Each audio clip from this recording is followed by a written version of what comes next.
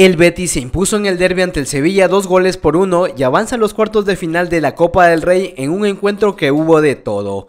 Les pongo en contexto para entender lo que pasó este sábado y domingo. El sábado se disputaba el Betis Sevilla en el Benito Villamarín con el estadio a reventar de aficionados. El Sevilla empezaba sorprendiendo en el marcador con un golazo del Papu Gómez al minuto 35. Betis ponía el fútbol pero el Sevilla marcaba el primer gol del partido.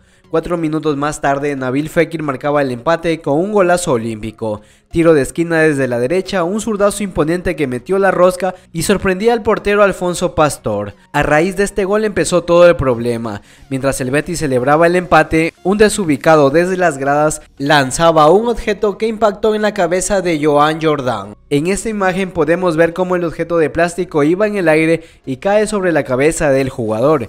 El objeto era una barra PVC aproximadamente de 50 centímetros de largo.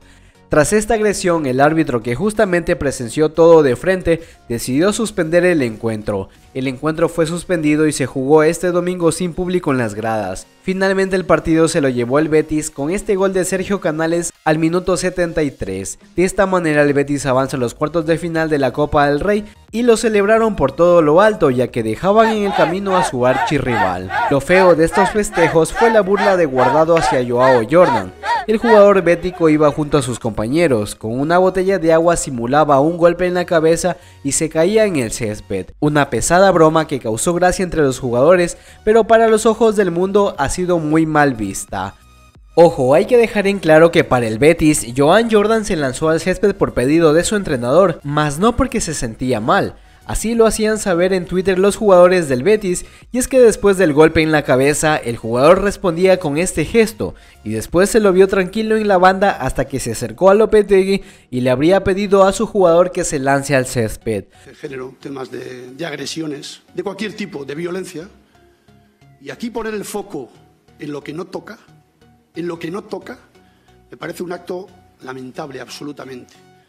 Lo que hay que poner aquí el foco es cómo está Joan Jordan, que está en casa, que no ha podido jugar hoy aquí, que llegó con 16-13 de tensión al hospital, que tiene un traumatismo craneoencefálico, que estaba mareado.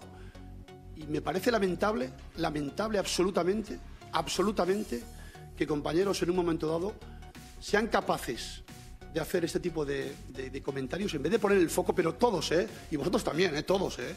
Y todos tenemos responsabilidad. Luego todos nos regamos las vestiduras cuando sucede algo, ¿eh?